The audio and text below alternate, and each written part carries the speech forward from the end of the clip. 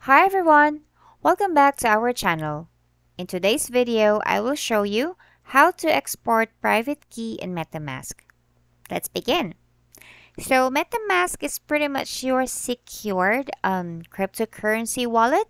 This is where you could, you know, store all your cryptocurrencies and um, there's a way for you to actually sync it with other wallets say for example trust wallet.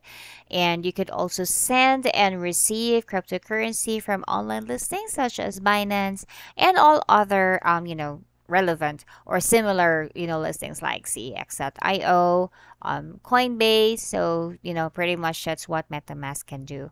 So now um, we are going to export private key. This is more of like a security feature just to make sure that the wallet is just yours. You're not supposed to give uh, your private keys to anyone else. So please be careful of scammers and hackers. You need to make sure your private key is super secured. So how you're going to do that? Um, you know, go to upper left of the um, of the app and on my screen you could already see we're in um, I've already accessed that and go to settings.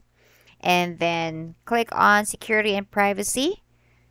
And let's just wait for it to load and then this is it. So the um the ask is you know how to export private key. So private key is this one.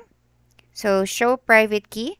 Now when you do this guys it would give you actually a reminder or a warning message. So see um, just like what I mentioned earlier never disclose this key. Anyone with your private key can fully control your account including transferring away any of your funds. Of course we don't want to do that. So now if I want to go and proceed to get my private key, I just need to put my password here. And when I get next, there is an option where you just need to click and hold the button just for the um, private key to be revealed.